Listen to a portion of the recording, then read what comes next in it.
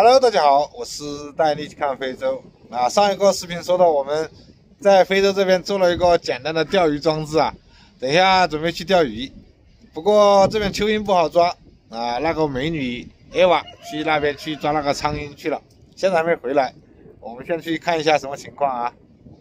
这个 Eva 把这个这乔巴西的小伙子拉在一起，这里只有十几个，比较少。我去演示一下，用手抓，不知道他们用什么抓的啊？之前卖鱼那个摊点没有鱼了，也没什么苍蝇。我今天跑到这里来，上次也是成群的苍蝇，现在一个都没了。所以说很多事都是这样，你需要的时候啊都没了，不需要的时候到处都是。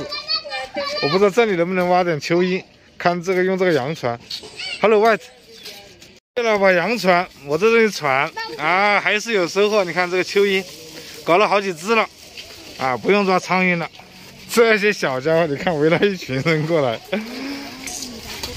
啊，这里的话还是比较多诶，这个问题应该解决了，多挖一点，等下就可以开工了。OK，今天两个跟班，不过现在摩托车只能载一个人，还要给他们安排两个车，买了两瓶水，我们现在出发吧。反正摩托车过去也就五分钟左右，看一下这个地方吧。这几个摩托车也没事要看一下。我们选择这里钓吧，反正第一次钓也不知道怎么样啊。这个地方应该可以，他们也要参观一下。刚刚才准备好啊，让他们拿着，我在这里抽时间休息一下。这边上还有两个也熟悉的啊，他说怎么怎么搞的。不过有点风，这个线也不行。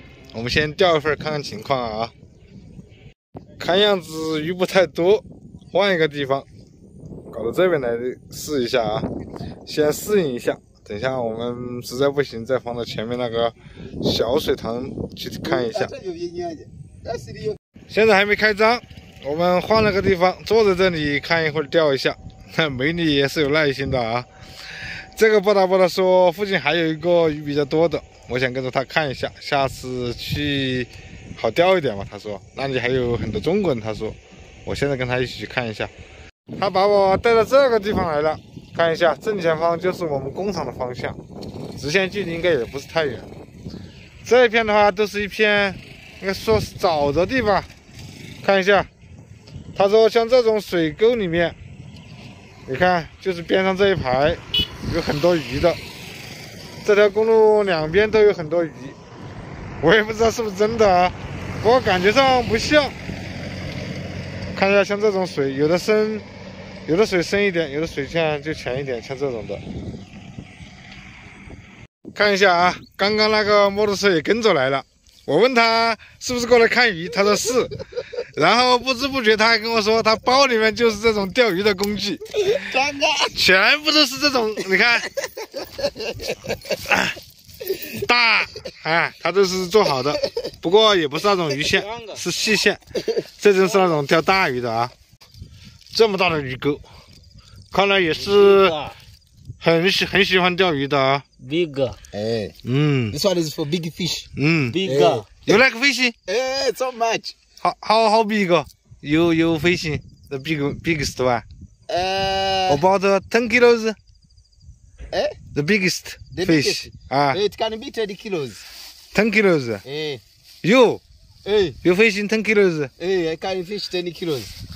啊，他也是有这个爱好的，估计是。我现在没啥事，说是他跟着来的。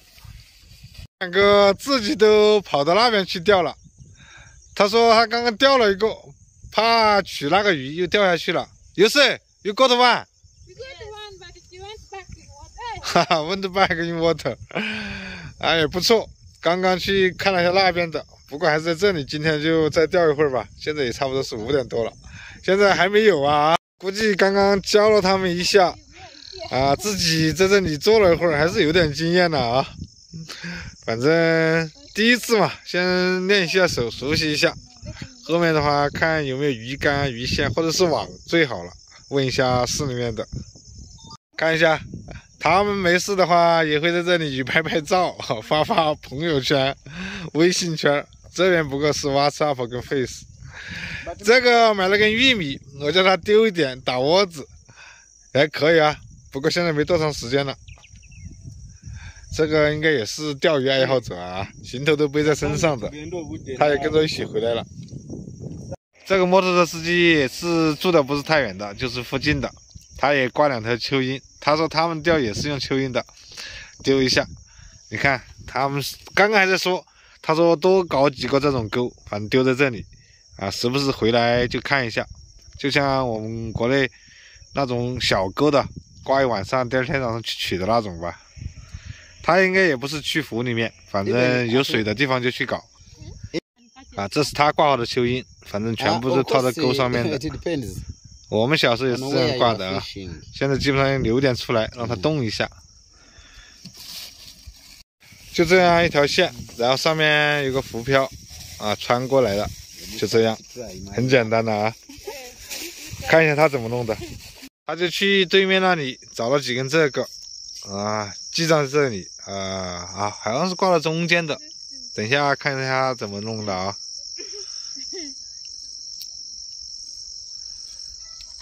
终于没有成空军了，这是第一条，还要脱钩了。不过弄上来它就已经掉出来了啊！刚刚他们也是怕拿，还是有这么大啊，差不多一两了。再钓一会儿哈。好，他们要拿个 拿个手机拍一下。那边就比较简单了，你看，他用那个木桩缠住那个，就挂在那里。估计有空的时候会来看一下。啊，应该当地就这样叫钓的吧？啊，我们这里的话，开了个头了。后面这里还有一个人，长得是亚洲人的面孔，我还以为是中国人，过来聊几句，结果跟我说英语，他说是尼泊尔的，不知道是哪个工厂的，估计出来散散步。再跟家人通话啊，看样子今天就这根独苗，不过他们的兴致很高，明天叫我一大早过来钓啊。今天就八个鱼根啊，鱼钩啊，去把那个连上。明天的话，就像当天那样啊，接根线丢在那里，时不时去看一下就可以了。